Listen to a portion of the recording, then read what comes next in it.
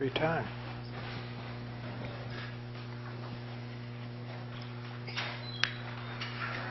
Ready? Welcome, everyone, to the City Council meeting for Monday, June 10th. If we could have a roll call, please, to establish quorum. Gary Meyer, Present. Melissa Greene, Here. Karen McClung, I'm here. Susan Harman, Here. Bob Thomas, Here. and Mickey is absent with notice. All right, we can stand and have pledge of allegiance, please. I pledge allegiance to the flag of the United States of America and to the republic for which it stands, one nation, under God, indivisible, with liberty and justice for all. All right. Get a um, motion to approve the agenda? So moved. Get a second? Second. Second. All right. Does anybody have anything, changes? Yes, ma'am. Got, Sertman. um, under new business, we had uh, animal law changes, and um, after quite a bit of research and reviewing, um, I noticed that the August 27, 2018 meeting, it appears to me, after watching and reading, that that, um, that request to change was not approved, did not pass by a majority. Yeah. um, At this time, too, Ms. Schneider would like to to uh, defer that since she's not here. Would you pass this down, please? Okay. Um, Which, that was part of my ordinance, and, and I wouldn't mind discussing it, and Mickey discussed it the last time when I wasn't here. And there's information in your packet. If there's information, I mean, it would just be for discussion. Okay, well, it's up to the council. Okay. Um, s- All right, any ch- any changes? We're still up for discussion. All right, hearing none, all those in favor of the agenda as submitted, signify by saying aye. Aye. Aye. Any opposed? No. Okay, Four one. Get a motion to approve the minutes. Motion to approve minutes? Second? I'll second that. All right, any changes, additions? Hearing none, all those in favor of the minutes, as sus- approving the minutes as submitted, signify by saying aye. aye. Aye. I wasn't here, I recuse. Um, I abstain. I wasn't here. So would we have three? I didn't hear all the votes. I've got an aye. I think we had three, two So it's three, abstentions. two. Okay, I'll vote aye. All right. Um, I think in, you received a uh, quarterly report from uh, our building official. That should have been in your packets in there. Uh, Also, uh, we've got some vacancies with the Planning Commission. Uh, Also, on the CAPC, which is expiring end of this month. We have an application from Dr. Tyson Burden on the Hospital Commission. And uh, that's kind of where we are with the commissions and committees right now. Uh, Which brings us to public comments. Please limit your time to three minutes.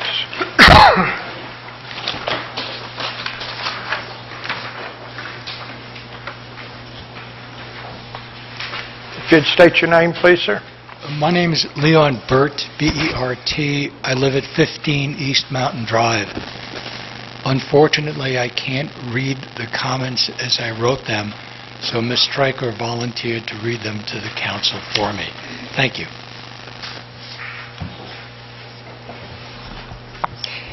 East Mountain Drive is one of two streets connecting Highway 62 and 23. The other is is Passion Play Road. Our street has no sidewalk nor shoulders. The speed limit is 25 miles per hour, which cars routinely exceed. This problem was brought to the Eure- Eureka Springs governing body in 2016.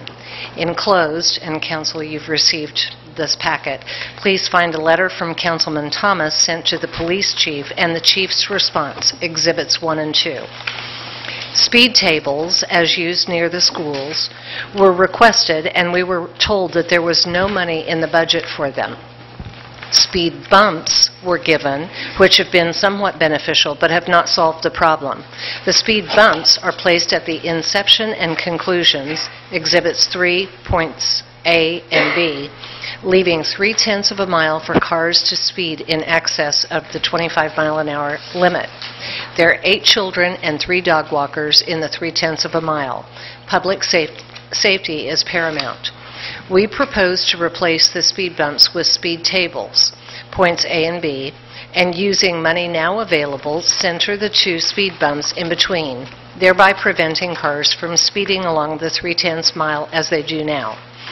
Our street should not be used as a shortcut and the speed limit abused in the process.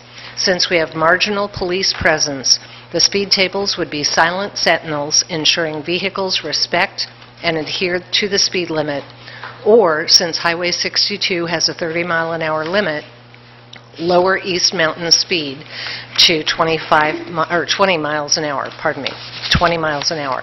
Thank you, Leon Burt, number 15 East Mountain Drive.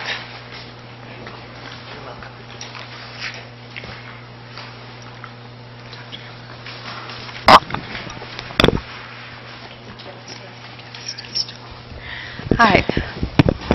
On tiptoes.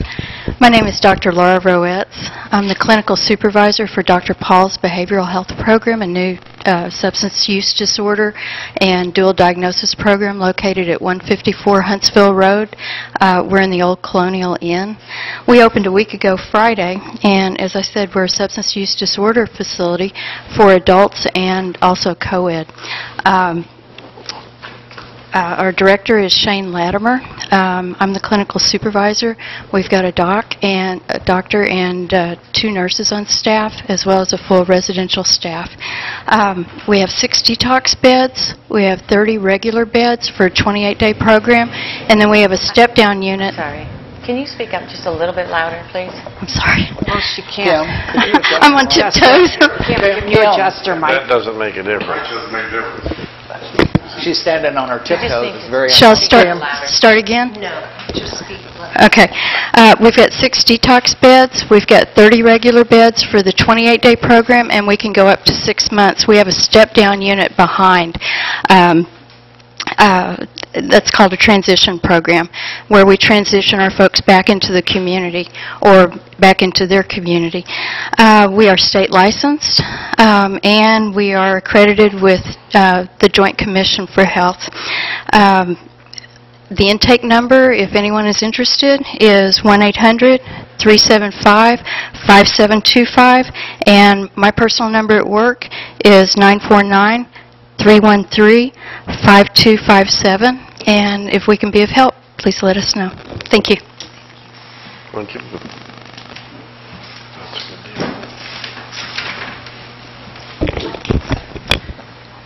I'll try to speak more level this time, so I don't shout at you. I'm Damon Hinkey. I'm with the Chamber of Commerce. Uh, Tomorrow, we have Morning Brew. Morning Brew is at 8 a.m. Uh, It actually is a social time from 8 a.m. to 8:30. It's at the community center.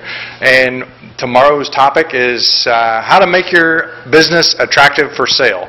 So we know that there's a lot of businesses in town that are available for sale, and obviously, we want to connect buyers and sellers, so therefore, uh, tomorrow's topic will be what to look for, how to market your business, the ins and outs of both sides of the transaction. We've got a specialist from Fayetteville coming over, and again, that's at the community center. It's called Morning Brew, 8 a.m., uh, 8:30 is the actual presentation, lasts about an hour and a half, so see you there. Also, uh, I just wanted to put my two cents in for uh, the 6th of July. We got a lot of businesses, uh, I talked to Justin, uh, who are excited about having fireworks on Marble Flats, and we will be announcing and positioning everyone in town. The Chamber of Commerce, as visitor services, will certainly get out the word, because obviously everyone will be calling, saying, where should we watch fireworks from?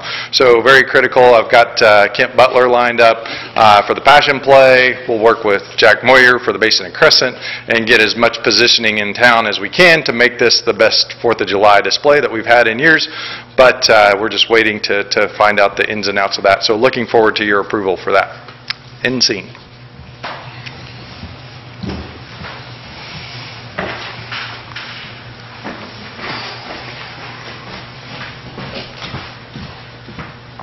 I wish I could speak that wonderfully. Um, I'm Carrie Mary. I live on Wall Street, and I'm one of four people that are a partnership that's uh, developing a little neighborhood up on East Mountain.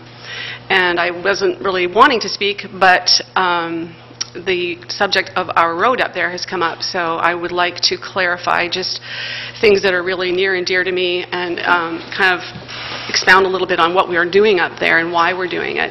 Um, the last council meeting we came to, we spoke right, or my husband had a chance to make a comment behind uh, Dwayne Allen. And it was interesting that uh, when Dwayne talked about the budget and the roads that needed work and the the the ongoing problems in Eureka Springs, they're always water-related, or a lot of them are water-related. And it could be the runoff from the water, or it's the gravel that's created. Um, What we're doing up at our property, um, and thanks to our wonderful planning department and so many people, uh, really helped us get a- a words to go along with our vision for the neighborhood we're creating up there. And one of the most helpful books was this low-impact development, um, uh, a design manual for urban areas that Glenna Booth shared with us, and you can see I've put it to good use. And it, it was kind of like a eureka moment because we knew we had this beautiful piece of property. Uh, The word stewardship was like upmost in our minds. We have neighbors below. We're in this unique uh, historic cottage area.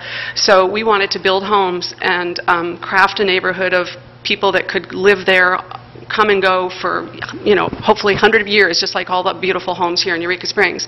What we didn't want to do was cause uh, scouring, water problems for our neighbors below, because I've seen that happen in our town over and over again. Someone comes in, bulldozes, puts up a concrete pad, a- a paved driveway, and off we go. So what we're doing up there is terracing. We have rain gardens around the houses that have required it especially, Um, and we would very much like to keep the road permeable, uh, because the water that comes off the gravel road, or it's actually pea gravel, goes into our park, which is a central, kind of a rain garden, if you will. Um, the reason we've put all that extra energy and effort, and really money too, into the design is because, as I said, we want to make sure we do not contribute to the ongoing issues with roads in our town.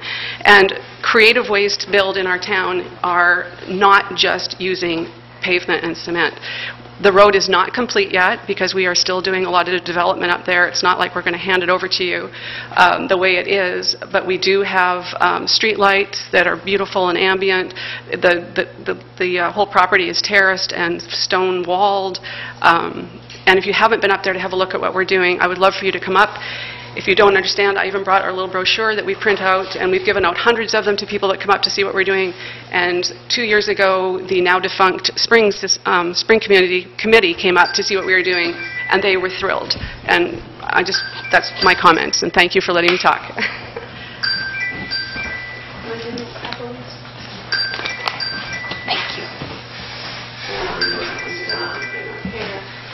Thank you.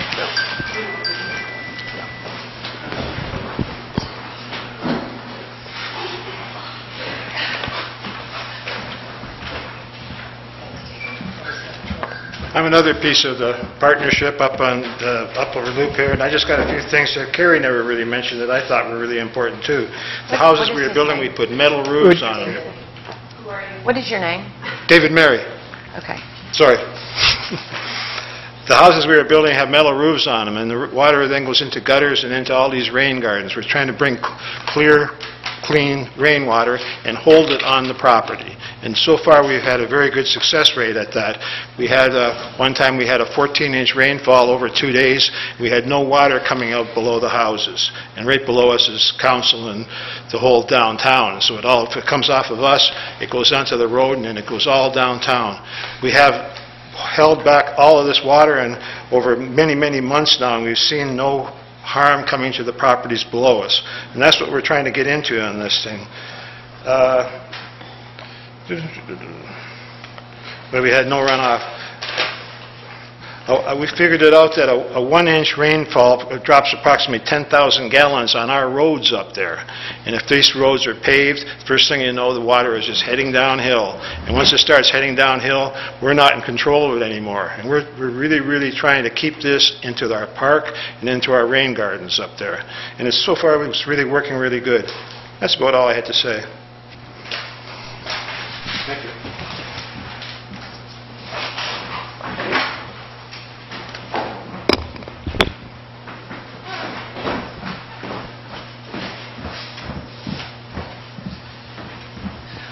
I'm Holly Westcott, reading um, a letter from a resident who was unable to be here tonight. Um, Her name is Trace Ellen Kelly. She lives at 190 North Main Street. Um, So this is all from her. My questions and concerns about the fireworks show in town. One, when speaking with each of you um, council members, I found three people didn't even really know where the fireworks were going to happen. I find that a little disconcerting. Do each of you know where it will be before you vote on it tonight? Uh, Two, one of the one of you mentioned that this is a tourist town and it will bring in tourists. Yes, but do you realize this is a city where people live also? It is not always about tourists. Three, where will everyone park? Four, where will the spectators congregate to sit and view said show? Five, is there a road up to the site so a fire truck can get there easily? Six, is there any easy access to water at this location? Seven, has it been established that the company putting on this show has insurance to cover for anything bad happening?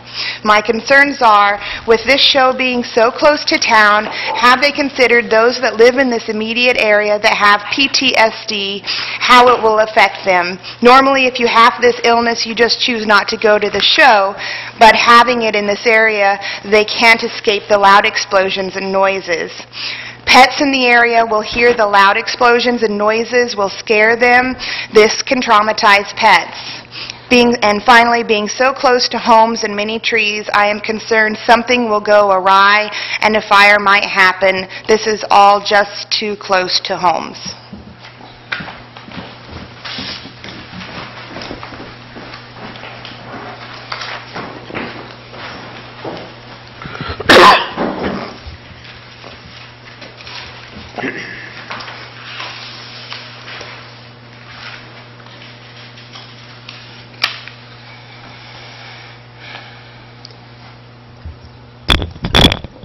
My name is David Zimmerman. I am here to comment on the matter of David Mary's Corley Loop, which will come up later in the meeting. Alexander Stillman and I own lots across East Mountain Drive from Mr. Mary's development. Our interest is in maintaining the quality of the neighborhood. To that end, we ask that Mr. Mary be told that he needs to do now what he should have done to begin with. Build a road that is up to code with the knowledge and approval of the Director of Public Works. Building permits have been issued already for four of the 16 houses Mr. Mary proposes in his development. Every time the city permits another house to be built on what it knows to be a substandard road, it is knowingly endorsing the construction of a substandard residential development directly across the street from our property. Is this the future any of us want for any part of Eureka Springs? Please, for the good of the city and the neighborhood, let Mr. Mary know in response to his proposed gift that once the road has been brought up to code, he can come back and ask for anything he wants, including any more building permits. The way these infill developments are treated in relation to the city building code will help determine what kind of place Eureka becomes. Let's get it right. Thank you.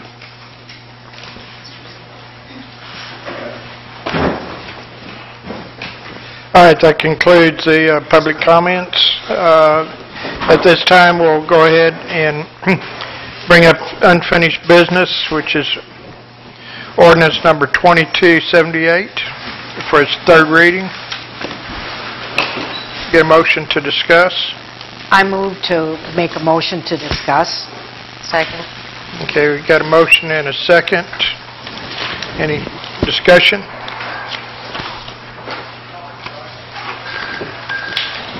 Oh. All right, hearing none, do I get a motion to put this on third and final reading? I move to suspend the rules and place ordinance number 2278 on its third reading by title only. Have a second? Isn't that suspending the rules, don't you? Oh, I'm sorry. I I move to suspend the rules and place ordinance 2278 on its third reading by title only. Get a second? Second. Any discussion? All right, hearing none? Thomas? Was- What's was your that vote? me? Oh, I just coughed right in the middle. Sorry. Uh, I vote yes. Mr. Meyer? Yes. Ms. Harman? Yes. Mr. McClung? No. Ms. Greene? Yes. Four one. All right, Ordinance number 2278 is ordinance amending the Eureka Springs Municipal Code to prohibit animal suffering. get a motion to approve ordinance number 2278 on its third and final reading. I make a motion to approve ordinance 2278 on its third reading. Second. Discussion? Is that vote sweet? Mr. McClung? No. Mr. Meyer? Yes. Ms. Greene? Yes. Mr. Thomas? Yes. Ms. Harman? Yes. Four one. All right, so moved. Um, Okay, get a motion to approve ordinance number 2279 uh, for discussion, in third reading. All Motion? Second. right, got a motion and a second, discussion. Yes, ma'am. Okay, so um, the questions that I have, and the way that it is written, um, my, my major concern right now is that, um, and this relates to location, is that we are, we are not limiting where the firing of fireworks can be, meaning we can shoot them off from city-owned land and we can shoot them off from private land. I have an issue with, with um, any fireworks being shot from private land just because of the liability. So um, this particular ordinance, the way it is written, doesn't specify that it would be one or the other. At- Right now, the city could determine any place within city limits that they could shoot, whether it be private or city-owned land.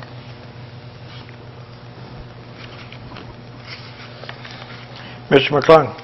Well, I, I think uh, wording it like this at least um, uh, covers this, uh, because I, I- I, I don't think we can even shoot it off at Leatherwood, because Leatherwood is inside the city limits without having this ordinance. So I think this ordinance is need- needed in that respect. Um, uh, the- As far as, as personal property, I don't have a problem with that as long as the city is indemnified, um, you know, on, on what the location is, that I don't certainly, it does need to be something that, where the city is held liable or responsible, uh, whether it's, you know, the, but, and I'm not sure what qualifies in doing that. That's my comments. Yes, ma'am. Um, I have a lot of questions, because I wasn't here the last time. Justin, first of all, I think what you have done with parks has been fantastic, and I like the direction you're moving. But sometimes I disagree with you, so I've I've got a lot of questions. Um, Why was there no approval by the Parks Commission for this? There was in our budget discussions, this was part of our special events line item. That was when we discussed Okay. it. But they don't have any say on doing this? I'm not following, I'm sorry. Well, I- I I guess from being a commissioner, when there's a big change in something, like moving it from Lake Leatherwood to another area, it usually comes, and to me, I'm just asking why it didn't come to the Parks Commission. uh, Everybody liked the idea when we talked about it in the budget meeting. Okay. Uh, That was... Okay, so, so it was discussed Yeah. with the Parks Commission? Okay. What about traffic control and, and the notification? Right, and that's, what again, as we reach approval and have everything locked down, we let everybody know. The, the map I've put, hinted out there to you, if you look at it, the, the black circle, I apologize for doing black and white, but those color printing's really expensive. Um, But that shows you the area that we're in. We're almost completely within the Marble Flats property and the safety zones of that firing area. And that's one of the advantages of this show from a logistics standpoint is there's no access to the shoot, to the uh, shooting site Right. for the public. Right, but my, my concern is, if this, if we were talking about this for next year, I could be really on board because we'd have time, but our guests that come to town that day are going to be out driving around, and all of a sudden fireworks go off, and they're going to be stopping in the middle of the road because they want to see them. I, you know, Damon was nice enough, which I'm very grateful for, that they're offering, you know, the, the city community center, and I, I'm assuming Passion Play. But I'm, I am really concerned about the traffic control and what's been done. I mean, I... I- And I can- really not. I I'm can just talk cur- I'm just curious why you think the traffic is going to be any worse because than... If, than a if normal- somebody doesn't know that this is going to happen and these fireworks start going off, they're going to want to look at them. And, and they're going to try to pull over and park, get out of their cars. I, I mean, it, it- it- I, I I I, get what you're saying, I just don't know if that's unique to this And it may location not- than it is to anywhere on any road. It with may not fireworks. be, but it could be a very big problem. Okay. Especially, I live up on the upper loop, and down by Susan's house, all the way to the community center, there's nowhere to park. Right. But it's a great place to watch the fireworks. So, Yeah. I mean, has this been addressed? I mean, the way we see it is I kind of expect this to be like a parade night, you know, Okay. traffic-wise. I mean, we, we have a lot of people in town a lot of times with a lot of stuff going on. Yes. Um, So one of, the one of the advantages, again, from, to us, with, with the logistics of it, is this, that people don't have to go to one place. There's not a concentration of vehicles, there's not the viewing area. This is something we think can lift up a lot of businesses with an opportunity, and um, that people will be parking, again, kind of like a a busy Saturday night, Right. is kind of how we expect it to go. Uh-huh. With that, with some, some viewing, you know, areas, certainly. Right. And, and I don't disagree that eh, with the proper notification and proper time, this could be great. I mean, it could be a great festival. I, I, I see that. What about the notification? We have a lot of veterans in town that have post-traumatic stress disorder, or veterans that are coming to town that have this, that don't know about this. And our, our animals, it's the biggest day that pets bolt during fireworks. I did ask both Holly and Samantha when I was working at the Humane Society to please put an article in the paper about this, and I'm going to ask you to please put something about the post-traumatic stress disorder, because I don't want this to happen to anyone. Um, And at that point, we- I feel pretty confident that we have two newspapers here that we're going to have this out pretty Okay. well, so I think we can uh, reach out again to the community. We'd like to do some of that outreach, but it would be inappropriate until this body decides to go forward with notifications on something that hasn't formally, you know, isn't legal Okay. until this uh, ordinance is Okay. Well, somebody just brought up, and and this is a concern, how if there is a fire up there, and I I know these people are professionals, how is a fire truck going to get up there? I believe we've talked about having one stationed up there with... uh, Can- Is is there a road up there? Yes. Okay, yes. because I was told today the only way to get up there is by ATV. or That's. I whatever. I- I Okay. just drove uh, Councilman Harry. Meyer there today.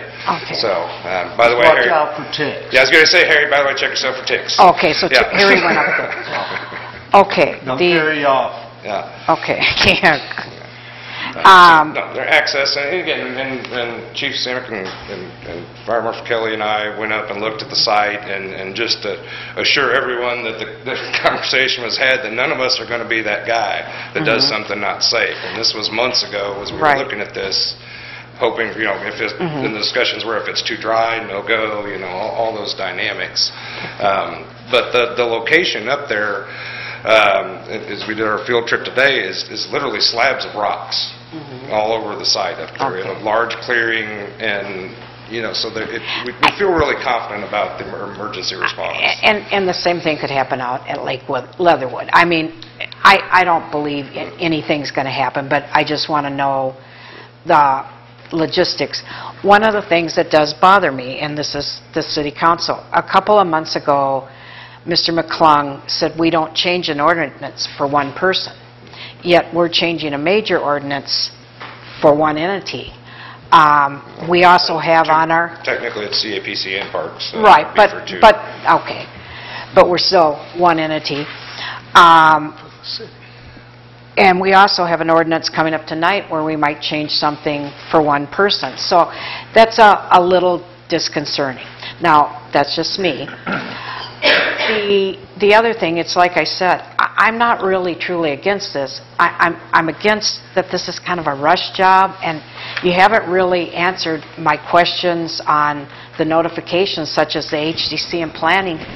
They do some little thing and letters go out, and so how are we going to notify other than our articles in the paper? Are, Mr. Mayor, are you willing to put out some bulletins? I I mean, I think there's some importance to that. Certainly, and I, and like, again, like I said, until this, you know, we're official, Okay. it's not appropriate for us to get that, that completely out, but I mean, we absolutely do, and we're, we're very conscious of, of all those situations, animals and PTSD, and we've spoke with the VFW members that maybe there's some way to reach out, and, and, and and I acknowledge those things. We used to do fireworks at my house out in the country, and my dog would go to my mom's during that weekend. uh, Right, You know, to come out. We're talking about a 15-minute show. Right, Um, but- you know- for a veteran or an animal, 15 minutes can be an excruciating torture.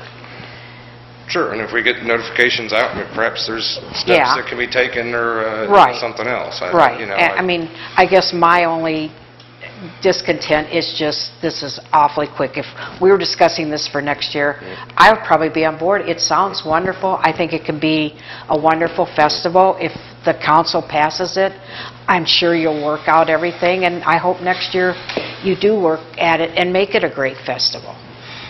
Okay, I'm done. Mr. McClung?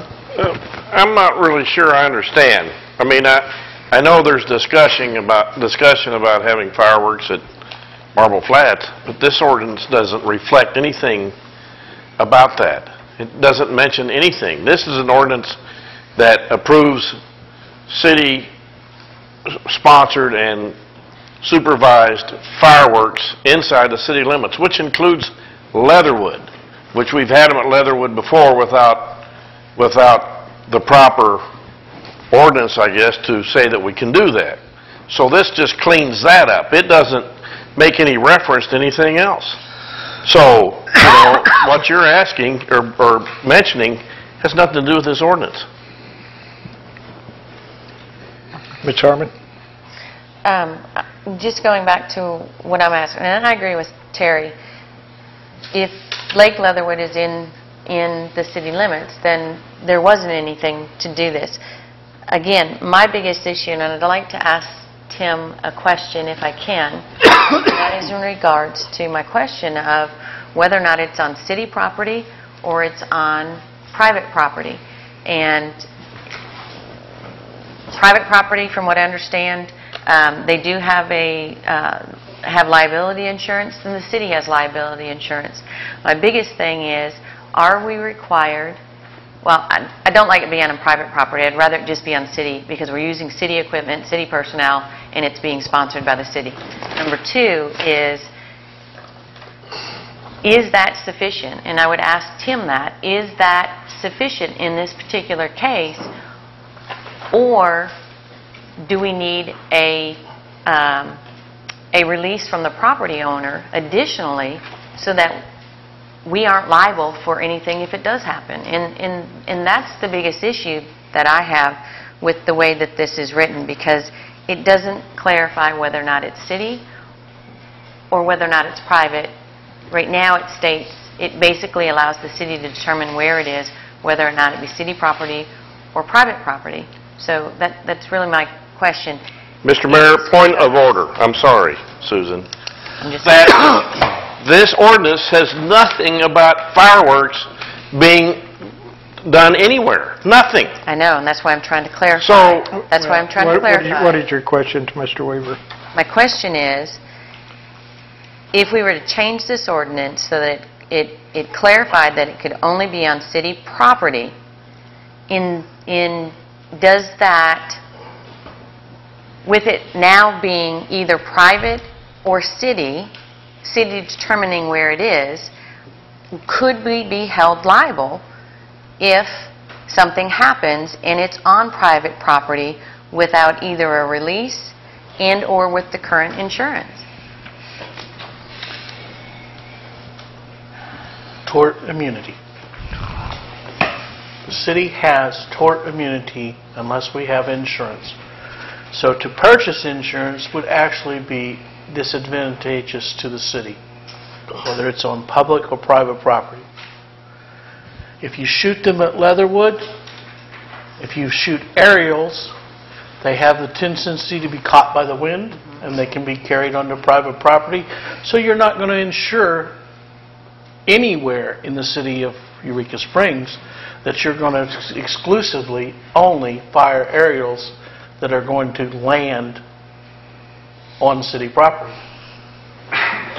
So whether you shoot them from private property or not, unless the chief is going to hire someone to intentionally blow up a building with the fireworks, we're not liable based on tort immunity unless we do have insurance that covers it. Okay. Thank you. Mr. Meyer? Um, Yeah, I- I'm, I'm with Mr. McClung. This, this ordinance has nothing to do with where it's being fired off. Now, Justin took me up there and up here on, on the mountain, and we looked at the site, and, and I agree that that's a very safe place to do this. Uh, There won't be any spectators on the mountain there, it'll all be blocked off, so you'll be, I mean, it's a good spot to do it. Um, I see, though, that the insurance here is for Leatherwood Park, and that's the only thing that I'm, as far as this alternate site is concerned, that the liability insurance is for Leatherwood, not for, uh, not for uh, Marble Flats, but that's probably a technicality that can be taken care of. Uh, but What do you it's- read in the ordinance? The insurance. No, no, no, insurance, uh, he certificate. showed me Oh. liability. Yeah. Liability insurance from the people that shoot off the fireworks, All not right, from well, the that's city. separate, yeah. But that's secondary to our ordinance. We have to have the ordinance if we're going to have fireworks. And the Fourth of July is when people shoot fireworks off. That's when municipalities do that. We celebrate the birth of our nation. I mean, that's, that's something that's done. We need, that's, I think we need to observe this holiday the way people do it all over the United States.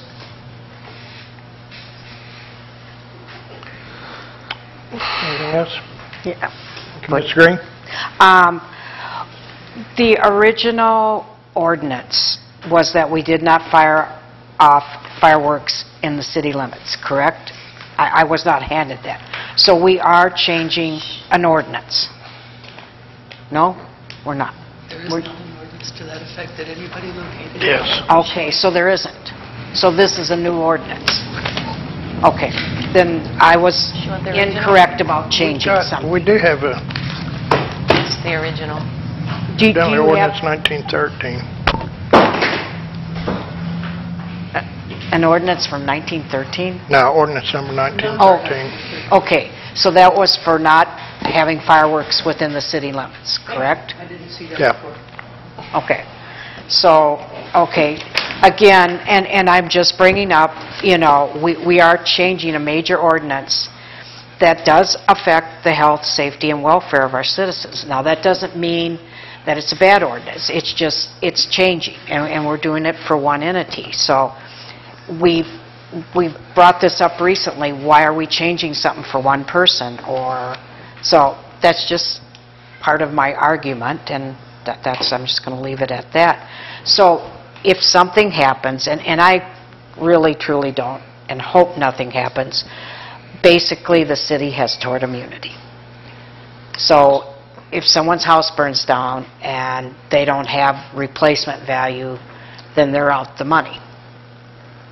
I think the, the company has insurance, Okay, and we've got tort immunity. okay. How how much insurance, Justin, I does the think it's company- $9 million. $9 million. Okay. That can pay for a lot of stuff. Well, and I, and I I believe the property is sold for 350 Okay. or something to that, um, just for the Oh, liability okay. from that side, and if I'm not out of order, I'd speak to your points, Ms. Harman. Okay. Um, the- Just about the discussions we had regarding the private property and the nature of it was that there was no benefit to the private property owner, that it was for the public good from that location, Um, and and again, that we felt the legalities are covered with the liability insurance for their side and for additional, uh, poten- you know, the the potential of the other damage from that, so. Do you need, do you have Okay. something? Yes. Uh, I'd like to address Mr. Greene's uh, concern about it being for one person.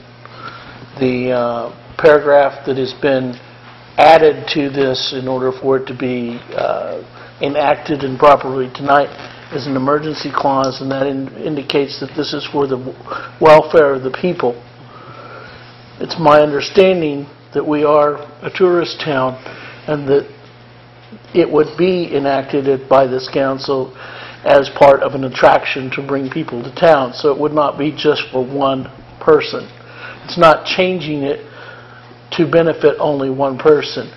And I need to clarify that because if this was challenged in a court, that would be the standing to challenge that particular portion of the ordinance, is that if the council doesn't understand that it is to provide for a tourist base for the entire population or for a majority of the population, then the council shouldn't be approving it because you're not doing it for one party, you're doing it to enhance the overall economy and welfare of the populace of the city. Mr. Oh, Thomas? Thank you.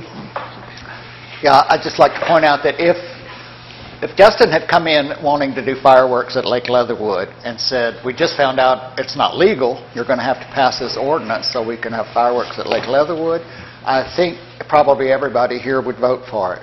So you're still stuck on location, and this ordinance has nothing to do Okay. with location. Okay, I, I, so if I vote yes, I'm just voting yes for the ordinance. If I vote no, I'm voting against the ordinance. I'm not, basically, you can do whatever you want. It's kind of what you're saying. No? I'm not going to make that statement. Okay. Okay. I, I'm getting, I, I, I'm going to use Mickey's things. I'm getting confused. Um, so, basically, we're changing this ordinance so that you, actually at Lake Leatherwood now, and Marble Flats can now do fireworks inside the city limits. Okay. Mr. Now I'm McClung? so confused. Mr. Mayor, uh, I suggest this, and, and, and I hope that somebody understands what I'm saying, is that if they want to change the ordinance, then make an amendment to change it. If not, then let's move forward and vote and go on, because it's, as Mr. Thomas said, it's, it's, all it's doing is giving the, the city permission to have fireworks that we did not have. And it, in, in the decision as far as to, uh, letting it be done, I'm, I'm, that's at your office, isn't it? Yes. So, what's the, what's the deal? You know, let's, let's get on or off the pot. All right. Get a motion then to, um, to approve? Yes. Oops, I'm sorry, Mr. Thomas, did you have Well- something? Have we read it already for the third reading? Okay. No. So then I move to suspend the rules and read ordinance 222 2279 by title only on its third reading. Second. Okay, discussion? Hearing none? Let's have fireworks. Ms. Harman? Yes. Mr. McClung? Yes. Ms. Greene? No. Mr. Thomas? Yes. Mr. Meyer? Yes. Four to one. An ordinance amending Title VII of Eureka Springs Municipal Code to clarify use of items containing powder or other combustible or explosive material, or to employ or in any way use theatrical pyrotechnics. Utilize. Utilize. Uh, Get a motion. Mr. Thomas? I move to approve ordinance number 2279. Second. Any discussion?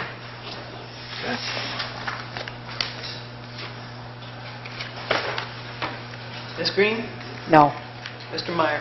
Yes. Mr. McClung? Yes. Ms. Harman? Yes. Mr. Thomas? Yes. Four one.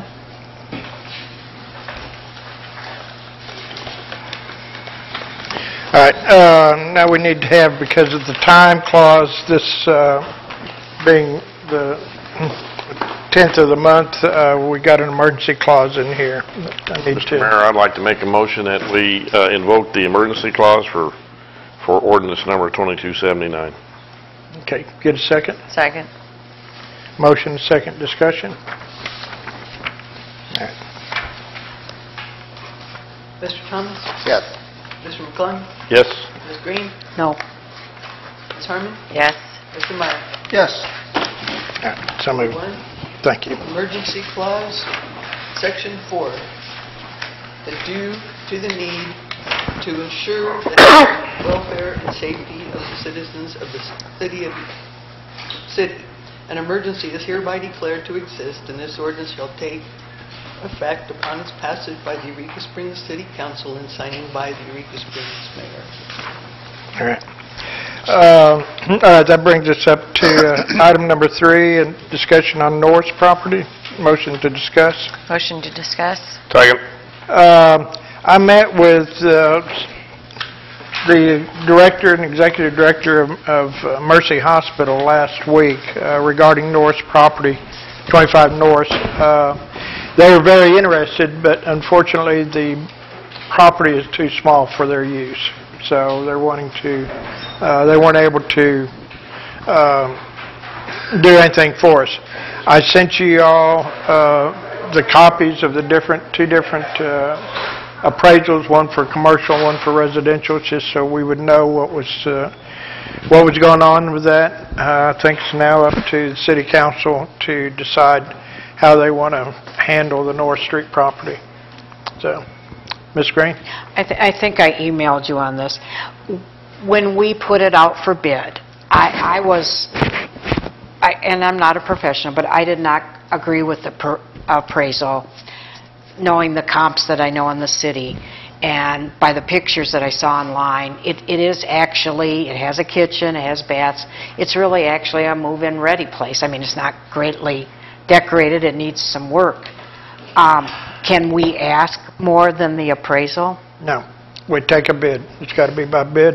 It is up to the council to decide whether or not they want to accept that bid. They do not have to accept the lowest bid or the But- highest But do bid. we have to keep it at the appraisal? No. You No. didn't, Okay. this goes out for bid, and we'll take bids.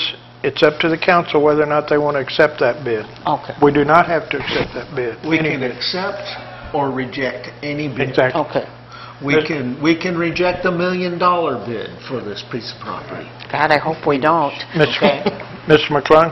Uh, Mr. Mayor, I'd like to make a motion that we, the city, uh, uh, put up for bid the, the city-owned property at, on Norris Street. I don't know what the, the number of it is. 25 Norris? 25 Norris Street. Second. I'll second. Okay. Any further discussion? All right, all those in favor of putting up 25 Norris uh, out for, for bids for sale, signify by saying aye. Aye. Any opposed? All right, I'll get it started. Uh, Mr. Chairman, Yes, ma'am, sir. at this point, I move to rescind the approval of ordinance number 2275 on April 8, 2019. Ordinance number 2275 was the ordinance which revoked ordinance number 2179, which allowed one member of city council to serve on the planning commission. The planning commission, and Robert's Rules of Order says I can explain my reason.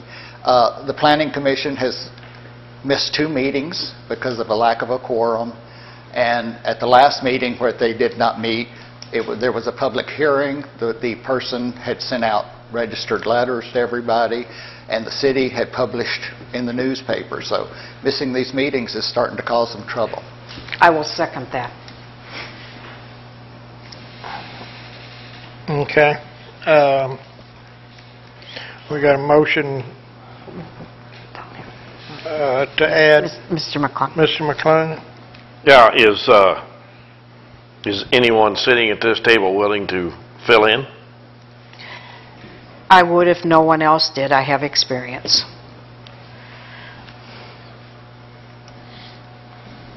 Do we, do we have, well, I guess we do have to, put it, rescind it would be the only way to make that acceptable. Is it, is it look like it's going to be a continuing problem? Were, that they were shorthanded? Or was somebody From just my- happened to From be my sick understanding and what? talking with the chairman, um, they have, what they may be doing is wanting to have, uh, similar to what the CAPC does, have one scheduled monthly meeting and then have one workshop meeting. Uh, One of the members can't attend the regular scheduled meeting, and that was a problem for the, I mean, they can't, ex- they can't attend to a month, or? they can't attend two a month, He- it- because of work relation. His employee won't let him off. Yeah, he works nights. And we got to have this member t- in order to have a quorum. Correct. Because we're what, short two? Is that what it is, or three, or Three. how many? We're short three, yeah, out of seven. Come on, people. I know. Uh, Uh, Ms. Harman? So are you, are you saying that the, if we change, or if they are allowed to change their meetings to one per month and then do one workshop a month, this, the individual that's having an issue with work schedule would be able to make one? Is it Yes. a- a specific one, or is it either or? Well, he would be able to make this one, he would be able to make the scheduled meeting, from what I understand from the chairman. Okay. The workshop doesn't have to have a quorum, no business can be Yeah. attended. I just meant, was it the So- first, of the first meeting of the month or the second one, w- and would that schedule stay consistent, his work schedule? Well, yeah, well, I'm sure it would. That's up to the planning commission. And then what, what, what would we have to do, or do we have to do anything to allow them to do that? We don't have to do a thing. Okay. Okay. Mr. McClung? I really hate making it just one meeting a month because it, it really limits what the people's rights, you know, so they can get things through and done and move forward with their projects. They could also Um, have special meetings. Huh? They could also have special meetings. Well, if he can't get off for that meeting, when they, are they going to schedule it at 2 o'clock in the morning? I mean, I... They may make it 2 o'clock in the afternoon, I don't know. It, it just, I don't know, that just, uh, we- we're in a rock and a hard place, I hate it. But, uh, they need to be able to operate. Ms. Greene? Um, I'm not campaigning to be back on it, but that really bothered me that we had a conditional use permit, and by law, that person should have reapplied again, sent out all the notifications. Um, I do know, because I had someone that called me that was coming down to say, where is it, what happened? So there was someone that came to it. And I, there, there's been problems, and we, and we've gotten down to where there's four commissioners. Someone gets sick, like I got sick a few months ago. We stop city business. And I don't like the idea of going down to one meeting a month either. I mean, I, I think we all ought to really look and ask people to be on it. But until then, I, I think one of our city council people should go, and I also just, I, I personally think there's a lot of times planning comes in here and we don't know, and it's like, really? We don't have a liaison. So when we have a council member that sits, like we have council members that sit on the CAPC, we have a liaison. We know what's going on with planning. I mean, I actually think we should have someone that is a liaison to the HDC. These are very, very important commissions for our town and our historic districts. So I don't think this is unacceptable to put a counselor on there. Mr. Thomas? Well, I just think that, that, you know, setting it up so that at the, wor- at this workshop that'll occur every month, there would only be three, three members there. Uh, If you had the city council person there, you know, that, at least they've got four people, It broadens the representation a little bit. However, I know that we, well, we- I guess we need to vote on this. Ms. Harman? I just have a quick, quick question. Um, So we're able to do a temporary person on planning, and they would be able to, are you saying they would be able to change their schedule? Would they be able to switch their schedule back as soon as they had someone, or would it be for a certain time frame? Um, Okay, so you Repeat your said they want question. to switch their, their, from two meetings a month to one meeting and one workshop, correct? That was a suggestion by the chairman. Okay. And do they have to, once they switch that, are they allowed to switch it again? Is Oh, that just by absolutely. vote, right? Yeah, it's up to Okay. the commission to do what they, how they handle their own policies. And we could vote for a temporary person, Yes. We can, we can, the I'm mo, just the asking a motion is just re- rejecting, but yes, we could. All right. Is it, Ms. o- Greene? is it okay if I give a little history to this? No, we, we're just, I mean, Okay. I think what we're talking about is trying to get a um, vote on this. so. Okay. Call the question. Mr. Which, hold on just a moment, Oh. Mr. Do you have an ordinance in pocket? The ordinance, the, or- uh, no, I'm asking... You have to have an ordinance to rescind, or a resolution to rescind. Do you have one? A resolution to rescind? If it's going to be temporary, as Ms. Harman is suggesting, it can be a Right. resolution. If it is going to be a permanent change, it needs to be written as an ordinance, and the ordinance needs to be passed in the normal course of an ordinance passage. If we're rescinding the vote on the or- uh, previous, that ordinance? If it has been approved, it is the law of the city at this point. But are you talking about law saying we have to have an ordinance, or are you talking about You our... cannot change an ordinance that is in existence unless you do an ordinance or a resolution to change it. Okay. Question, Mr. Weaver, if I may. Yes. So we could do, uh, like a a 90-day resolution? You could do a a 90-day resolution, it would be a temporary change. That's what a resolution is for, is a temporary change. An ordinance is for a permanent change. That's something we could do now. Could we take a break? I- I'm going to move that we take a break and let Mr. Weaver write a Well, we have an resolution. ordinance, we have a motion and a second. I don't, what was the motion? To rescind ordinance 2275 that remove ordinance 2179. Okay, I have to, I have to take back that motion. correct. And the And I'll second. take back my second. And now I move to take a break and let Mr. Weaver write us a resolution I'll second. for six months. Well, let's, let's, let's first see if we can get a resolution passed, and then take the break How to how allow will you do that?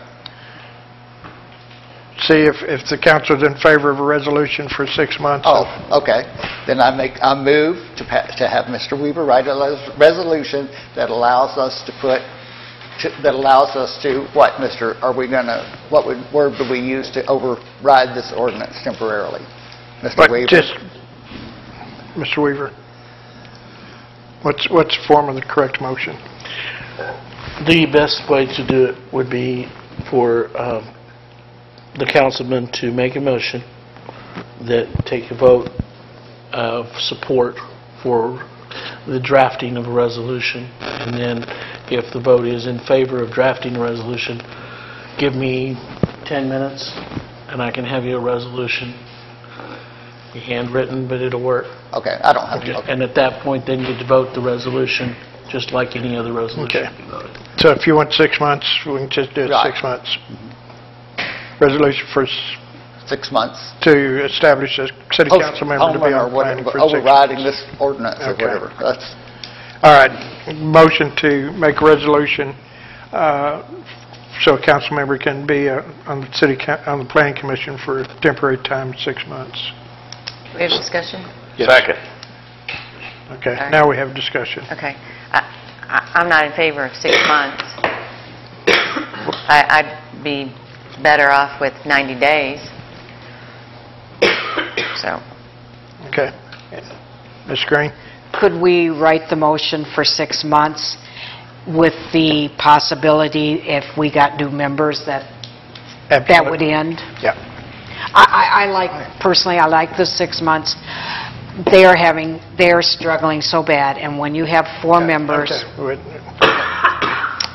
All right, Mr. Thomas, do you have Oh. anything else? no, if we'll vote, I'm not going to say another word. Uh, All right, all in favor, signify by saying aye. Aye. Any opposed? no. I think that's 4-1. Okay. Um, Motion for 10-minute recess. Oh, I move that we take a 10-minute recess. I'll second that. All in favor? Aye. Aye. Any opposed? Okay. Maybe it should have been five minutes.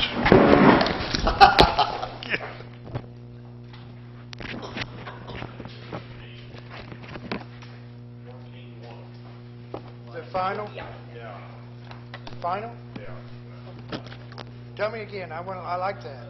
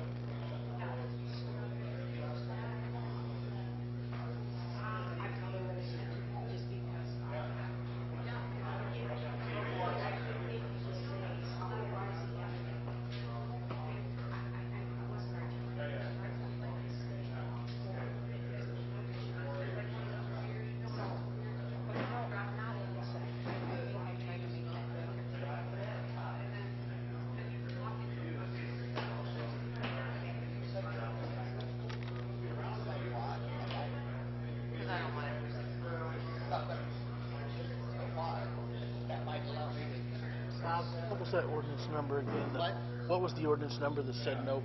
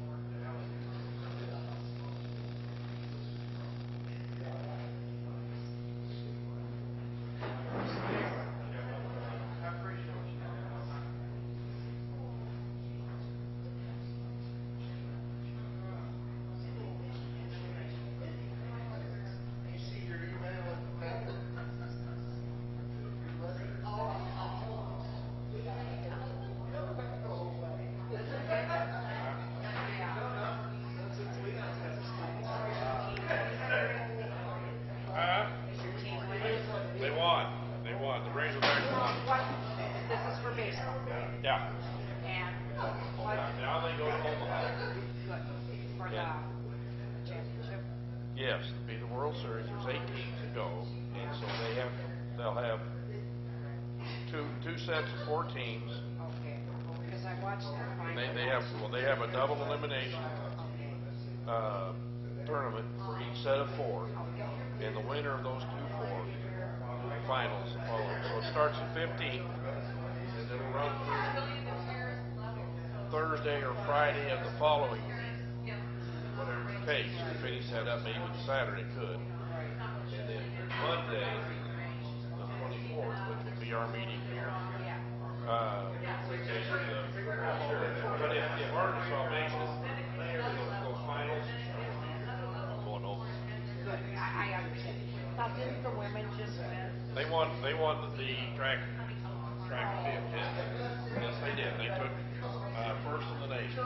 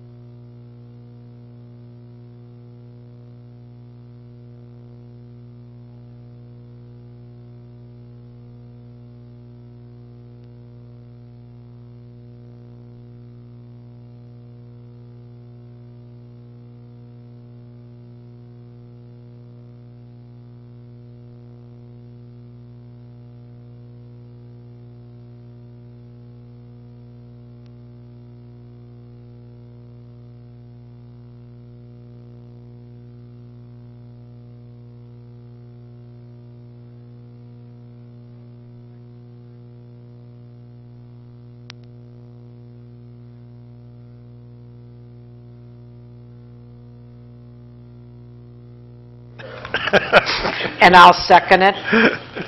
Okay. We got a motion to pass your resolution. Dis- uh, Discussion? Yeah, why not? I'd like to hear it. All right, uh, it wasn't pass, it wasn't, it wasn't a vote to read for passage, just a vote to listen to hear, okay, All right. all right. Um, At this point, then, it- we need to give it a resolution number, even though we're not passing it, so that it'll be part of the permanent record, Okay. I believe. Isn't that correct? They- Even the non-passed resolutions go into the resolution book. Yes, and I didn't bring the resolution book because there Wasn't was on no the agenda. resolution on the agenda. Uh, Uh, We'll have to add the resolution number then. Oh, okay, 780, 780? yes. All right. All right. Um, Resolution 780, resolution suspending ordinance number 2275 for a period of six months for- from passage of the resolution.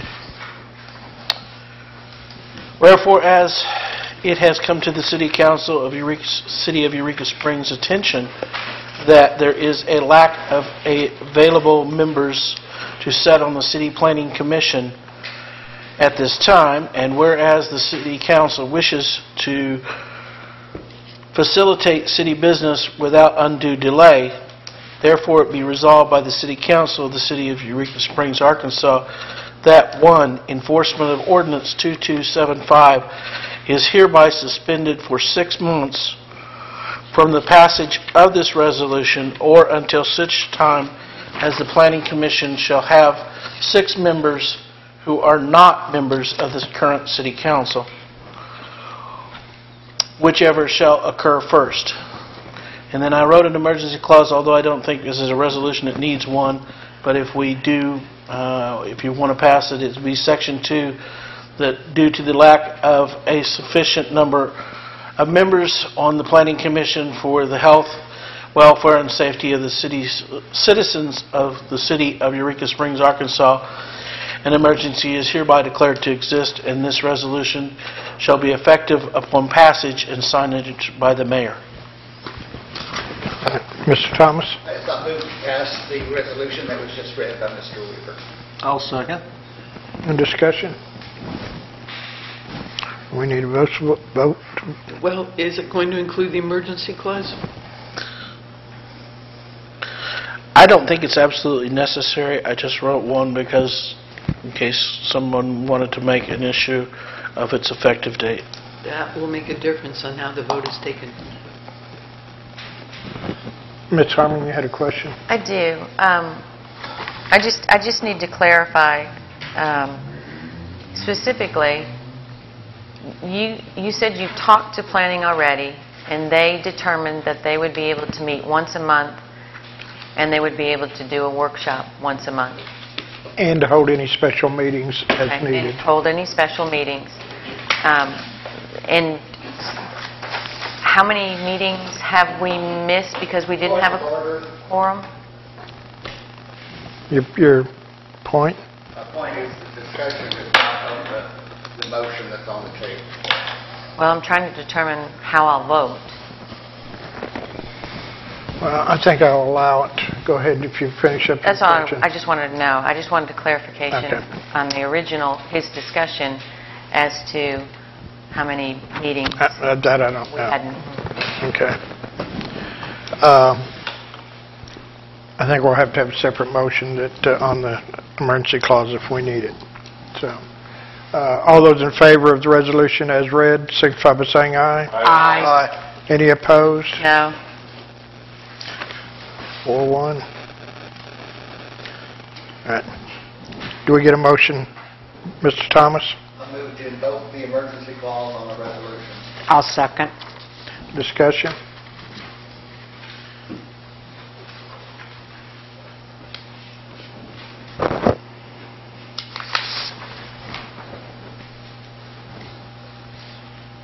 Mr. Meyer? Yes. Ms. Greene? Yes. Mr. Thomas? Yes. Mr. McClung? Yeah, yes. Ms. Harman? No. Four one.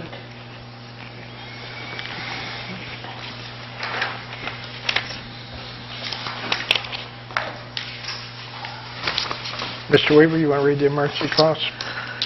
Section 2, emergency clause.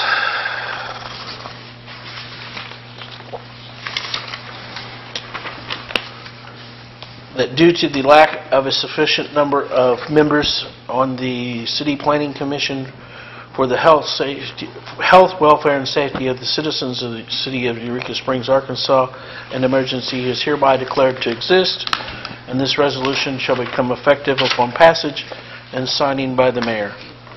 Passed and resolved this blank day of 2000 2019. All right, uh, that brings us up to our next item is uh, ordinance for aggregate and sidewalks. Need a motion to discuss? So moved. Second. Second. Uh, All right, Mr. McClung, Yes, I'm here. you started this ordinance, this discussion I don't, here. I don't know where we are from last time. I'm not sure either. I've been, uh, I've been Do we have an ordinance? out of touch. We do not have an ordinance. Okay. Uh, Seeing as how we do not have an ordinance, uh, get a motion to defer this?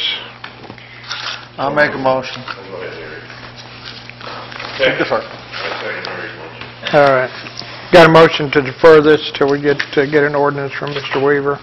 All those in favor, signify by saying aye. Aye. Any opposed? Okay. Um, All right. Ordinance regarding animal changes, law changes. Motion to discuss. Motion to discuss. Get a second?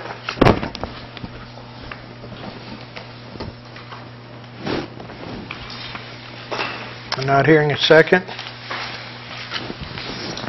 Oh, I'm sorry, I'll second. Is the ordinance here? I don't have it. No, it's just for discussion, whether or not we're, I think there's a, ch- uh, okay, Ms. Greene? Um, I know there's not an ordinance, and there were two parts to the ordinance. There was um, one on animals not being allowed um, to be kept at unoccupied properties, and to keep the 100-square-foot container.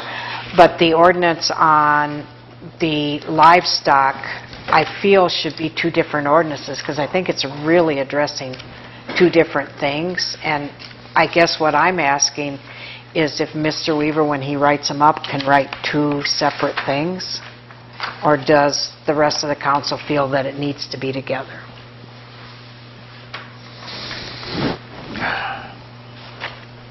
I think there's a question here. Ms. Harman? The original, in the minutes as they're written, they were included, unless I'm reading it completely wrong, it was, um, it was all included in one, and that's how the vote was done. And the vote failed. So, at this time, Vote passed. No, it passed. the vote passed. Yes. I've got motion failed. What are you looking at? So, if that's what we were originally talking about. And again, this is me coming into it after a prior, This is prior to this. so there was another ordinance passed afterwards, after the meeting itself? There was another vote, and it's in your packet. On s- And it's June handed to you 10th at table. On June 10th. of this year. Does that not say October? Does that not say the 10th month of 18? Oh, I'm This- sorry, you're right. This says 610. This Yeah. says at the August 27th council meeting. In the top right corner is its placement on the agenda. 61019. That's today, 6/10/19. Okay. On all sets of minutes in the bottom right-hand corner, there's the date of the meeting and the page. It's 10/8 of 18. Okay. I wish I would have had that information. We I- can talk about that Well, after the meeting. all right. Uh, If I could Okay, I think you have a copy of that. Oh, do you want that? Yeah, okay. All right, so where are we? What, what I was asking is, there, there were, I forget how many things on the ordinance that Tim was going to write, but I feel that the first two have a totally different merit than the second one, which is about livestock. And I would, was asking if Mr. Weaver could separate them and make two different ordinances. Mr. Weaver? Each ordinance should bear upon uh, a separate concept. So if the council believes there to be two concepts, two, two ideas that are being addressed, there should be two ordinances, yes. Okay. Um, My reasoning for that is, one is about like dogs and cats, and one is about livestock, which really aren't pets, or, well, it's going to be, we're going to be discussing if they, if they're allowed to be pets in our city, but I, I feel like it's two separate things, and I feel like, I feel that it has, each of them has its own merit, but I think put together could cause it either to pass or fail, and I would prefer that they be separated. Can you be specific on what the ordinances that you refer, Well, one is the pot-bellied Okay. PIDs, that is a sunset clause. Right, And right. what is the second ordinance And that you're the- referring the to? first, the first two things on what we had recommended was, one, no animals at um, Abandoned houses. abandoned houses or properties, and the other one was to keep the 100-foot square enclosure. And we voted yes on those because we we separated them, if I remember right, we kind of separated them. Thought we still had the 100-foot enclosure. Well, we do actually have that, we really... So we're not changing that? No, no, what I wanted really was to just add to our existing codes another number, or whatever it would be, to add that no animals be allowed at abandoned or unoccupied properties. Okay. And then the livestock one to be a totally separate entity. Mr. Weaver, follow that? I didn't. Um, When you say the livestock one, what are you that's wanting the to potbelly specific? The- The potbelly The pigs? potbelly pigs. Okay, yes. Because- Then I do. American yes. guinea pig. I've had a number of people that like part of the, what we were proposing, and a number of people that don't like part of it. So I think it it would, it's kind of apples and oranges to me. All right. Any further, Mr. Thomas? What? Could I ask a question first? Sure. Because I'm looking at- So we're going to outlaw pot-bellied pigs? Or we might pass that they would have a sunset clause, or they could be legal here. The ord, what is, but what is the ordinance that you have to be read going to say?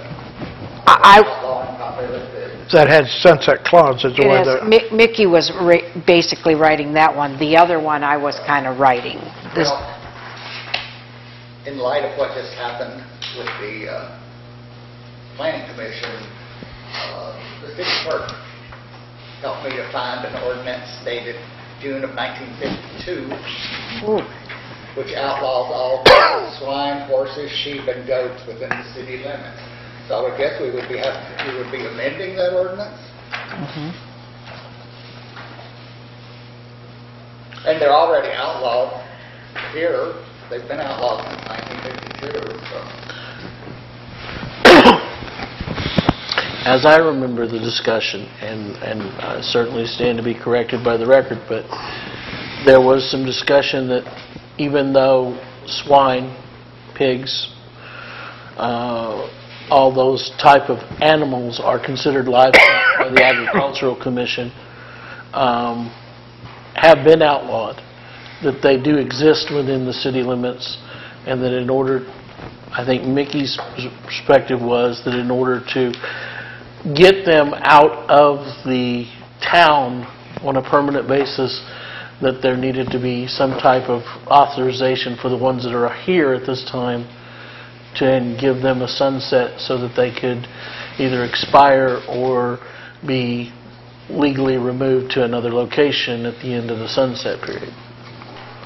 So that people didn't have to abandon animals that they thought were legal, even though under our ordinance, they are not legal at this time. So are we, are we amending the 1952 order? You would have to amend that with an amendment or a resolution.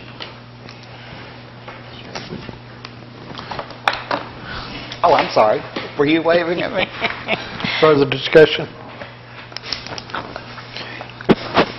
Wait, Okay, Ms. I Greene? just, I, just, Tim, did you understand what, about separating them? I just, instead of having one ordinance or, I think they probably should be separate, yes. okay, thank you.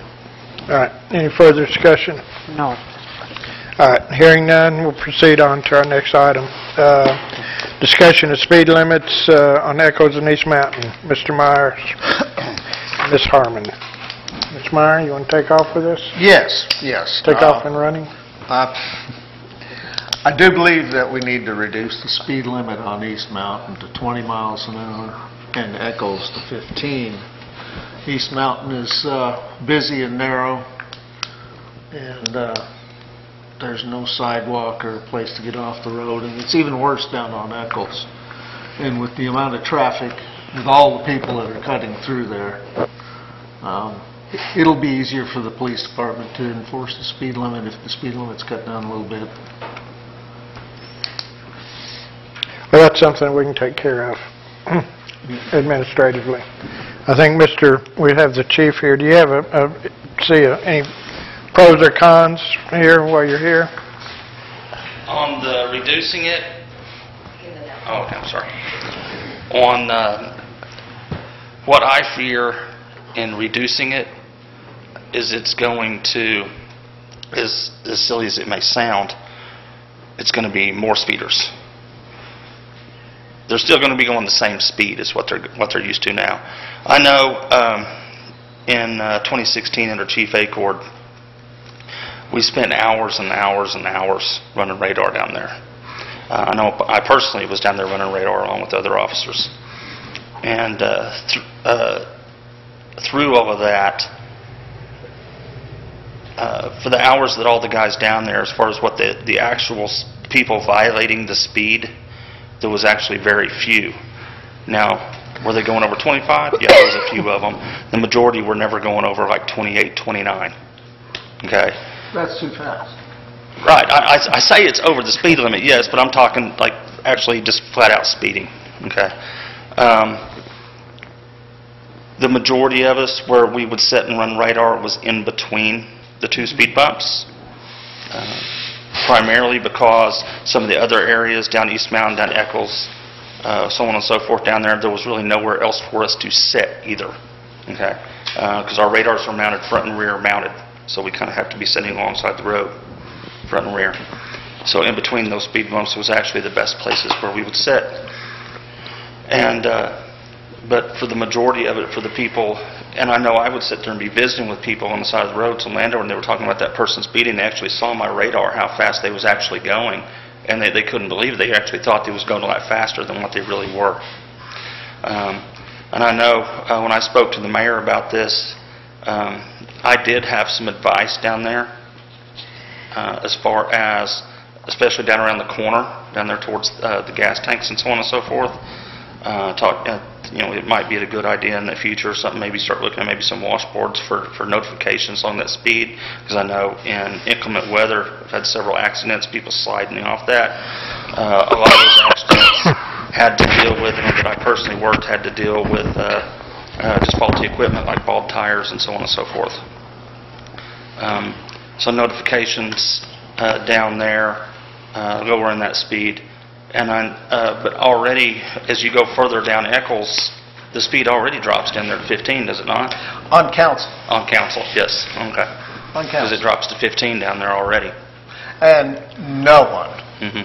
no one drives the speed limit on. I mean, even on Steel Street, which is even worse, they go flying up that hill. And that's, you know, that's the zigzag shortcut. The same car that's speeding on Steel Street is speeding on East Mountain. Uh, So you you have a specific vehicle that's speeding up through there, or? No, I mean, you just said the same car, that's why I was... Yeah, the guy that throws the whiskey bottle out there where the gas Okay, all right, all right, all right, I got you, I got you. No, we're not in California. No. Um, You can, you can file a complaint, and you can write an affidavit and do all this stuff, though. Um, But uh, we can, or do I personally think that lowering the speed is going, or the posted speed limit is going to fix it? No, I do not. Is there some more things that we may be able to do, uh, just me as a department, to, uh, or more presence in the area to try to get them slowed down? Sure, and I can do that easily. May I make a suggestion? Sure, sure. Put an ad, put a notice in the paper that there will be no, no tolerance on speed limit on these streets for the, this week.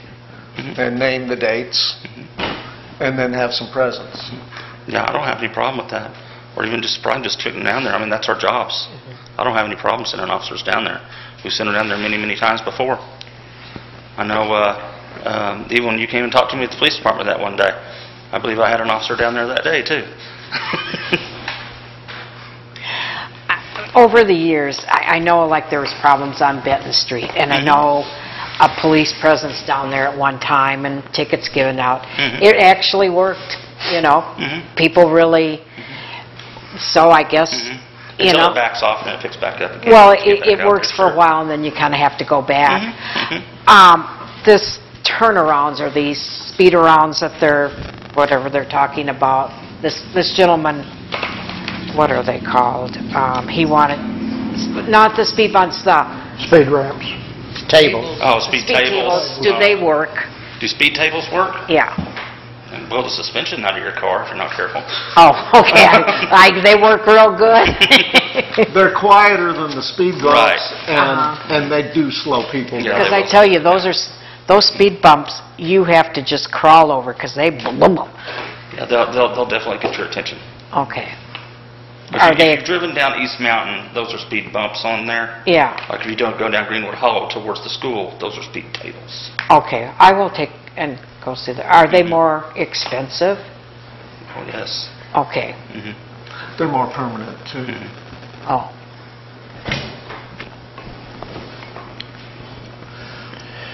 All right, any further discussion? No. All right. Um, All right, discussion on uh, adding Corley to the street system. Motion to discuss? So move. Second. All right.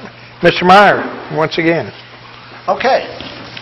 Well, I think they've come and made their case. Uh, It's all a matter of whether um, the compaction is good enough or if it's pavement that the city wants.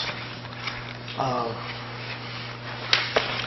They just talked, said that they uh, weren't finished with the, with the improvement of the, of the circle. I do believe they've got the survey done. I have not seen a copy of the survey, so I'm, I'm guessing. But as far as the easement is concerned and everything, I believe they've got that part done. Uh, Maybe Dwayne can address what, what it is that uh, they need to do to proceed.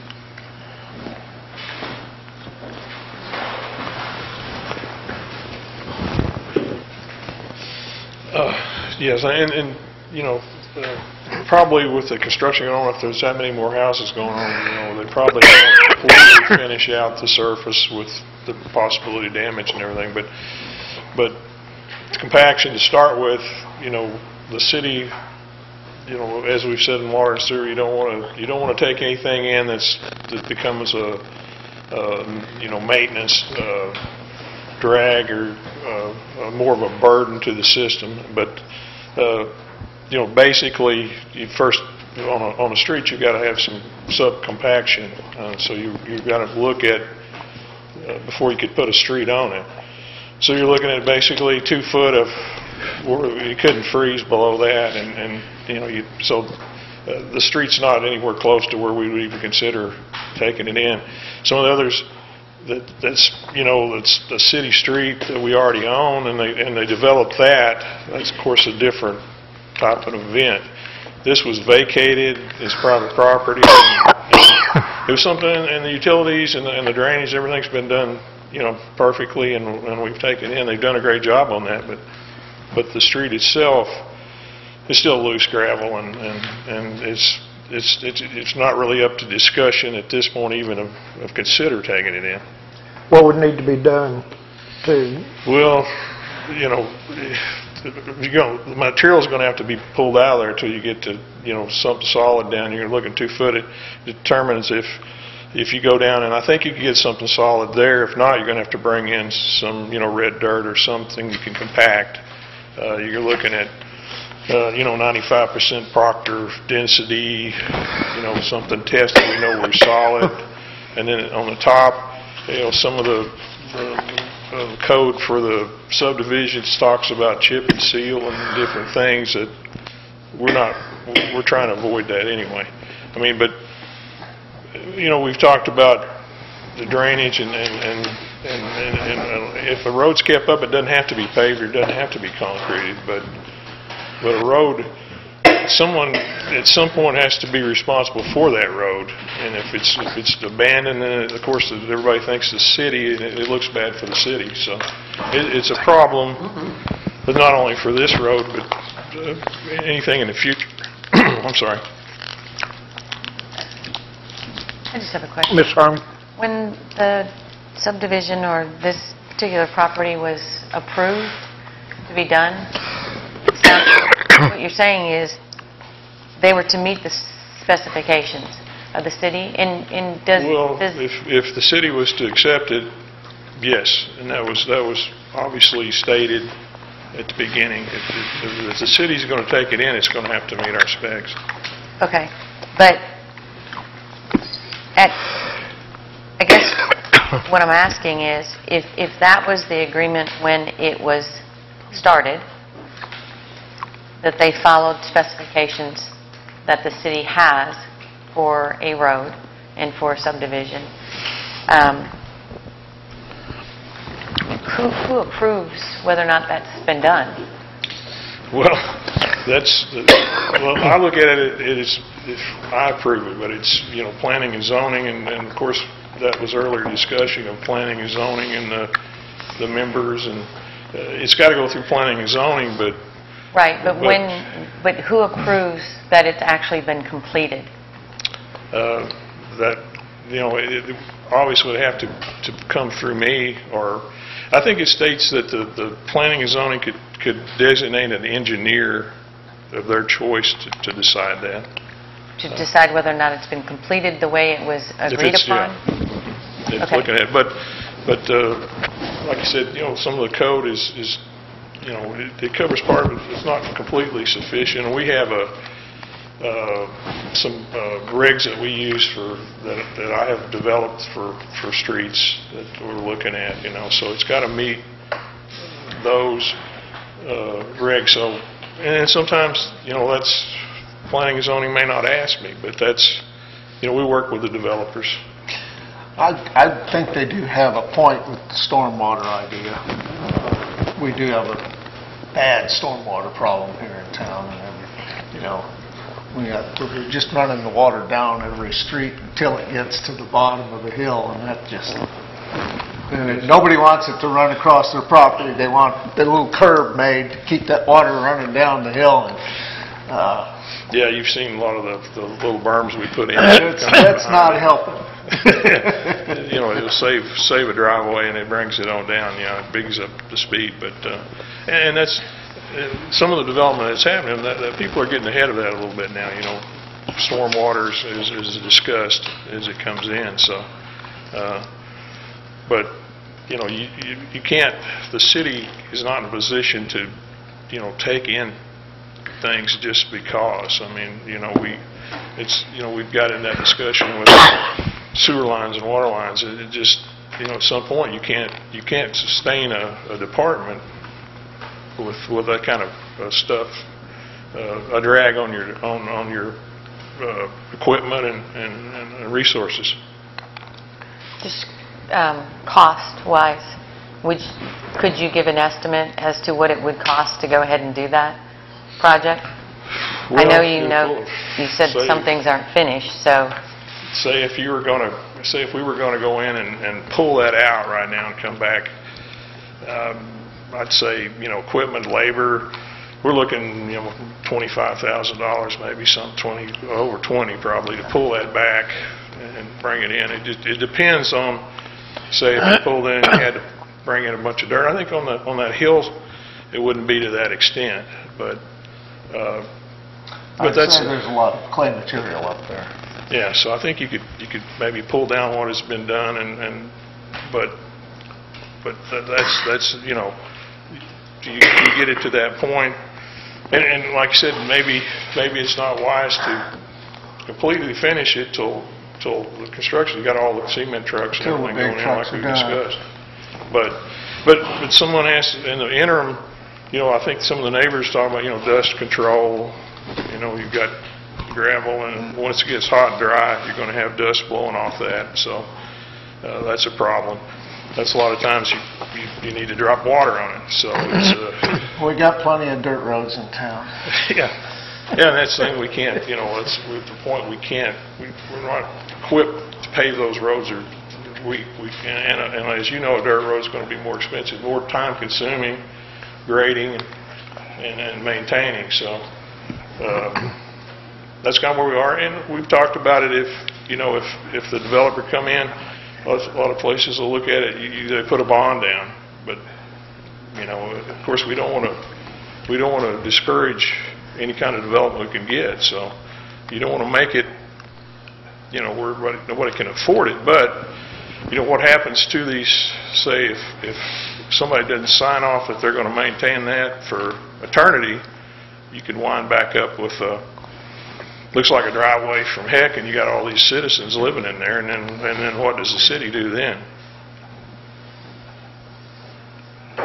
Mr. McClung? Well, I, I mean, I understand not wanting to, to finish the road out because of, of the future construction. Hopefully that it, you know, it won't be that, that long, and I don't know if, if it's required at, once you've got a fifty percent build, that it needs to be completed, or, or I'm not, you know, I don't know if there's anything that defines that even. But, but I would think that I mean, the regulations are what they are, and that's the way they need to be treated is, you know, and, and followed. Um, and if, you know, if a performance bond is needed, then that's what's needed, I guess. I don't, you know, I just, I, I just don't like the idea of settling for anything less, because if we do, then everybody expects that, you know, it just, it just, it's just not a good thing to, to, to shortchange what the law is. It's just not. I don't, we shouldn't do that. We shouldn't. Now, if you want to change the law and make, where they can do something different, that's, then, then change it. But, I mean, it is what it is. And I don't think what we have on the books is wrong at all. You know, the requirements are specific, and, and that's the way it should be. Yeah, and that's, you know, it's like you say, if you, if uh, you accept things in that are, are, and and this happened in the past, we, the cities accepted things or taken in, you know, part of the city that never was sewer. Developers have came in, and, and we decided, okay, we'll take it in, but then, you know, you get behind the curve. So that's what we're trying to avoid if we can, uh, try to, to make it sustainable is, you know, if, if there's something to that extent, unless, like you said, unless it, it meets specifications, we don't even want to consider taking it in. But, uh, there's not a lot of, you but there is some teeth in, in the, in the code that, that does come back and talk about fees and fines if necessary, but we don't want to get into that. Can, well, what you can do, I suppose, is withhold, you know, uh, certificates of occupation through the building, building inspector or something like that for, for someone, I suppose. and- You know, that, that would be, but, you know, and, and nobody sure as heck wants to even consider even things like that. It's like you say, we don't want to stop anybody, but at the same time, the city doesn't need to be left holding the bag. No, no, that's, uh, like I said, it's uh, trying to, to make our funds cover what we need to maintain and seal. We're, you know, we're making some headway, but we're still way behind, trying to, to, to catch up, so, uh, you know, that's, that's, that's kind of what we look at, and, and we've done that with some other developers that are, they're, they've agreed to maintain that. Uh, You know, say Doc Bell, you know, he's gonna, you know, he's signed off, he says he's taking care of that street, that road. It's Mhm. not really a, a city street, it's gonna be a Private. development, private drive, so that's no problem, but, it- but we just don't wanna get in when it's abandoned and, and people are hung with it. Well, let me ask you this. Well, of course, it's, it's after the fact now, because, I mean, it's a, it's a PUD and, and it's submitted and it gets, excuse me, gets approved based on the guidelines. Uh, But if they want to do, keep it as a private street, what, what can they be made to do? Well, that's, that's, and it should be, you know. Or what constitutes, better let me ask this, what constitutes a private street? Well, it's more of a, like you said, it's, it's, it'd be more of a drive or a, looking at a, them maintaining a a subdivision, which allows that, but it, and it allows just a, a, a, you know, base top, you know, just a base rock, but it, but it, but even at that point, it, it still talks about compaction and, and, you know, keeping the road passable. Uh, And then, and that way, that keeps the dust down if you've got enough base on top and it's just not gravel. Uh, But, but yeah, it's, it's covered, but, but but the subdivision code is a little sketchy on that, yeah. So it's, it's, it says it's up to the developer to take it in and, and do it, but it, it allows them to, to put a, basically a street in, like you said. Uh, It's not a city street. Well, I, I know when, when, when McClung Realty was involved with Eureka South subdivision, before we could sell any lots out there, the streets had to be put in, they had to be paved. And, and that's what was done. And, you know, at the developer's expense, I know that. Yeah, and that's, uh, and that's the way the, the city looks at it, and it's, it's in code, that, that it's, it's supposedly up to the developer. Uh, And, you know, there's different options that they can do, it doesn't necessarily have to be asphalt, but if it is asphalt, it has to meet the requirements. And, and like I said, and, and and stormwater has to be included in that, so, uh, but that's, you know, uh, if if it, if something's up and, and the city can justify it and take it in and help out, I mean, that's, that's the best way to do it, if we can. Mis- Mr. Thomas, you had a question? No, I didn't have a question, and I may hate myself for saying this, but I believe this is an administrative decision. Okay. Uh, Any other comments from anyone? All right, hearing none. Thank you, sir. Thank you. All right, well, that ends, concludes our uh, normal business. Uh, We got agenda setting. Uh, The uh, appointing a council person to planning, Okay? Anything else? No. Anyone? Yes, sir. Speed tables on East Mountain? Uh, I would suggest that we bring that up at our budget meeting for mid-year budget, Okay, that'd be fine. okay? Oh, need a second for Mr. Thomas's. I'll second that. Okay. Anyone else? All right, council comments. Mr. Thomas? Yes. There, within the last week, two weeks, there's been two more violations of the open meetings law with group emails. I know that we've discussed it at length at a, a meeting. Uh, The city clerk has sent out emails asking people to stop. The mayor has sent out emails asking people to stop. Part of the law reads that the violation of the open meetings law is considered a Class C misdemeanor. I feel like when you send me a group email and I read it, I'm participating in this misdemeanor. if you came over to my house and asked me to go help you steal a chicken, I would probably say no. Stop sending me group emails. They're against the law, and I don't want to be a part of them. Thank you. Ms. Greene? Um, Nothing. Ms. Harman? Nothing. Ms. Meyer? Well, can't wait for the 4th of July. Mr. McClung? Uh, I was, I was taking messages through the ball game and, or through, the- through the meeting and and the Raz- and the Razorbacks, uh, uh, slaughtered, uh, Ole Miss today, 14 to 1. So they go on to the College World Series, so, Ooh, pig. uh, very proud of them. That's really all I have. All right. Uh, We have uh, several items coming up. Uh, And one, I I wish uh, Mickey Schneider the best in recovery. She's uh, very ill at this point, and and uh, wish her, or give her our best wishes and thoughts and prayers. Uh, Coming up, June 14th, we have uh, Alt at the Aud from 8 p.m. to 11 p.m., featuring White Manson and Barbarians of Tomorrow. And on the following day, the 15th, we have Music in the Parks featuring Opa and uh, from 5 to 7 in the Basin Park.